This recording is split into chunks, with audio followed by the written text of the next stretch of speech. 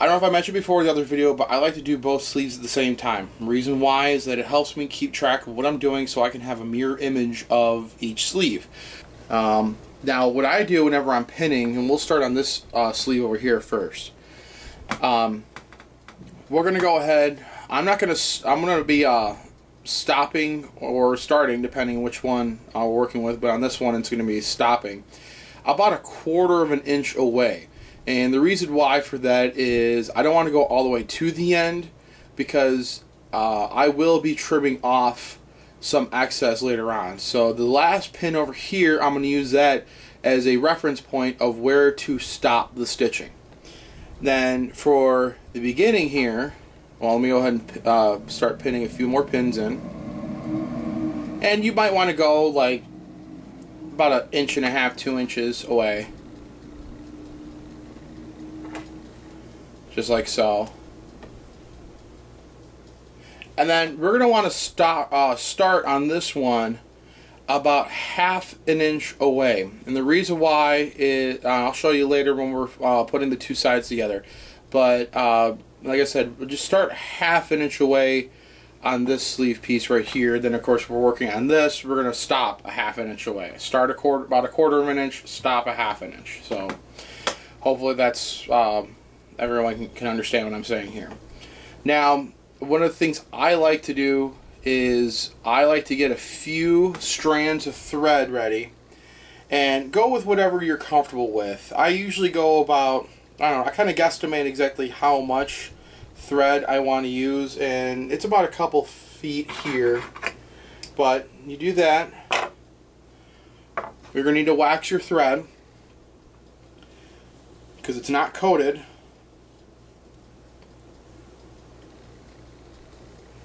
And I usually run the thread about half of it over, you know, half of it about mm, five to seven times depending. Um, usually you can kind of feel exactly you got a good coating of wax on there. You don't want to put too much otherwise you're going to get wax all over your garment. But just enough on there so you get a nice even coating. And run, while running the wax through, I also want to keep my thumb over the thread while pulling it through. And the friction itself will melt the wax onto the thread. So, but what I also like to do is I like to get a couple, at least one or two uh, needles extra ready to go so that when I'm done with um, the length of thread on one needle and I need to start out uh, start going on another one I can do that I have it ready to go and that way it helps keep me going here. So I'll do a couple of threads, wax them, get them all prepped. Um, I'm only going to show you my threading uh, or my stitching of one seam. I'm going to use one of the shortest seams. Everywhere else I'm going to just kind of tell you what you can and cannot use and then sew it, show you what it looks like. Uh, but because if I did that, just like with the poke sack video, I don't want to. You know, that that's that was like a forty. That's like a half hour project right there. It took me forty minutes explaining all the stuff. And yeah, I don't think anybody wants to sit here and watch me for 20 hours sewing this shirt. So, um, but we're going to start at our first pin there, about half an inch away uh, from the edge of the gusset, like so. And I might want to zoom in here just a little bit. There we go. Alright. We're going to start about half an inch away, as you can see here. I'm half an inch. And we're going to start, actually go just a little bit lower, right here. Now, whenever you're starting, and this is actually a tip that I got from a Godey's um, women's uh, manual, you want to probably, especially right here, you know, this is a high stretch point. You really want to, at least, or with any sort of seam, you really want to kind of start off and just sort of like bar tack in the area there. Um, now, you could run with this line of stitch, you can go with a back stitch or you can go with a, uh, a running stitch. And with this, I'm just going to go ahead and go with a running stitch. And you want to do about six to eight stitches per inch. And a little tip that I sort of came up with my own measure a part of your finger and find out which one it is, like whatever part, whether it's a segment or a thickness or whatever that's about an inch or half inch or whatever and use that to help tell you and help guide instead of taking a measuring a ruler and all that and use that to kind of help guide you exactly how many stitches you're putting in per inch. So it's a little tip that I sort of kind of developed on my own. Of course other people might have already had that out there but I've never heard of anybody else using it and I figure like I did with these videos show what I learn so some of it's stuff I had to learn on my own others is just other stuff is just from other people so but go ahead, we got our first line of stitching through, and whenever you wax a thread and you're doing it like what I'm doing, it's going to be a little tough, but after a bit, you should be able to get it through.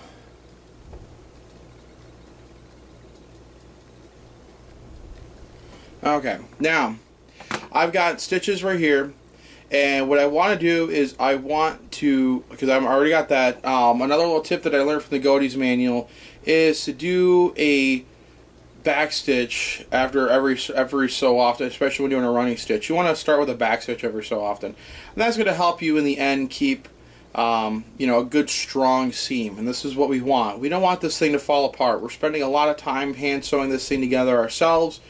We want this thing to last. So, um, especially since if you show all your parts, like, hey, check out my hand sewing shirt, and after a couple events the thing just falls apart, yeah, they're really gonna probably think, man, this guy doesn't know how to do anything. So I want you to I want you to be able to impress your parts out there and show them show them what you learned. So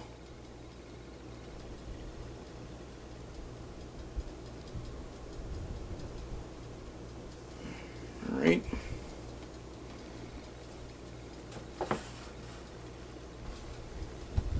I'll try at the same time. I'm trying to watch the camera and I'm trying to watch what I'm doing here and it's kind of hard. So another reason why I want to just show you this one seam and then after that you can kind of go on your own. And as for, uh, you know, and, and as for like learning how to do these stitches and all, I found on YouTube here uh, other people, it's not related to Civil War stuff, but I found other people here who uh, show you how to do the stuff. Now don't be confused, especially for the buttonhole stitch, uh, the blanket stitch. Those are two different entire different you know styles of stitching. So um, now if you want, you can go. I think there is a thing in the AC forum that has a, I think even John Weedward on his website has a thing for learning the different stitches, or it might be 33 Wisconsin. Um, but not only that though too, but Elizabeth Clark I think her name is from the Sewing Academy. She also has a few things on there too.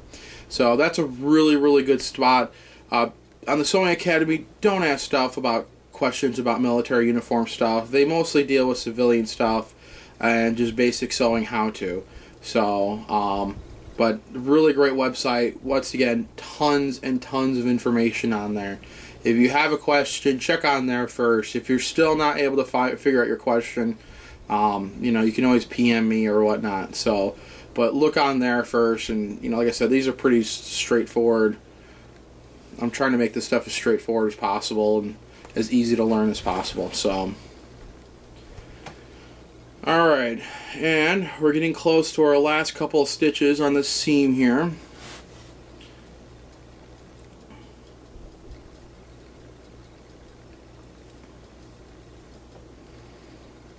Okay, so I'm getting close towards the end here.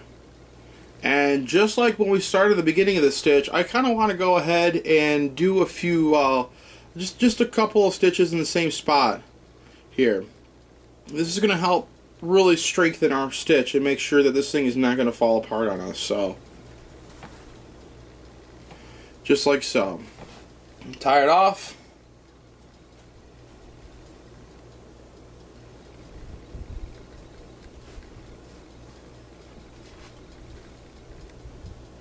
Like so.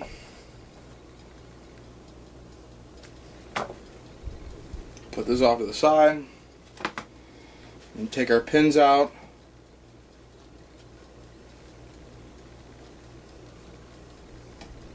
There.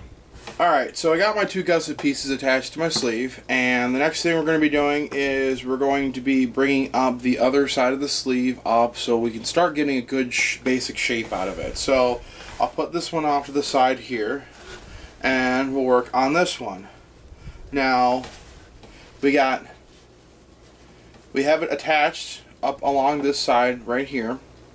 And what we're going to do is we're going to attach the other side of the sleeve to this edge along here. So, what we'll do is we'll bring up the other edge of the sleeve and we're going to pin make sure you match edge to edge and pin about a quarter of an inch away just like what we did with the other seam. And we'll put in a few pins on here. I usually go ahead I'll put about like two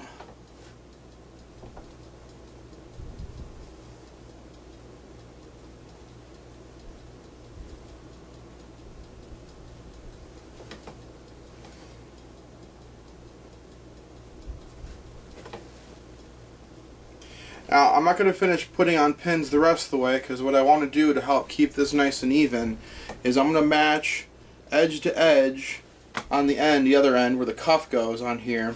I want to go back about two and a half inches on here. And you want to make sure that when you're doing the other side, you try to keep it as even as possible. And I'm going to put one pin in here. That's going to be our starting point on this sleeve um, or ending point, whichever side you are. But that's where the seam itself is going to start, uh, going to stop, and we're going to have enough here. It's going to give us about a two-inch vent um, on. Uh, well, actually, no, I'm going about two inches away. But you don't want a half inch vent. You don't want a really huge giant vent, otherwise it's going to look kind of weird. But anywhere between like two to two and a half inches back from the edge there is where you want to go. And then we're going to go ahead and start putting more pins down the length of the sleeve.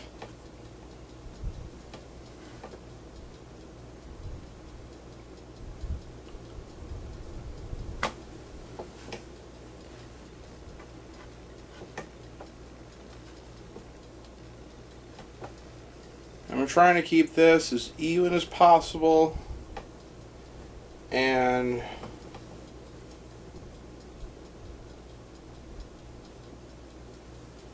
Doing pretty good so far.